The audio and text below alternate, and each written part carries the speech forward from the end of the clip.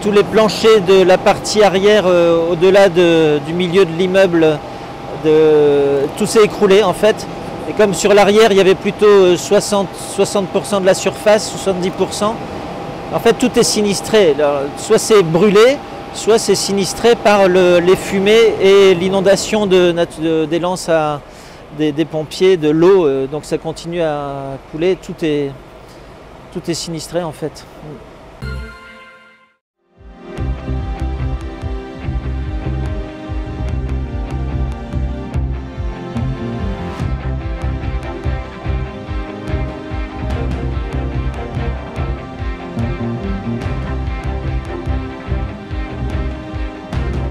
Des souvenirs, mais surtout un pincement au cœur à voir l'état, l'état de mon ancienne classe qui n'y est plus d'ailleurs, puisqu'elle a brûlé et elle a été démolie, mais à voir l'état des bâtiments aussi, où c'était une allée centrale qui était propre, agréable, et puis, et puis où on rencontrait tous les habitants les uns après les autres.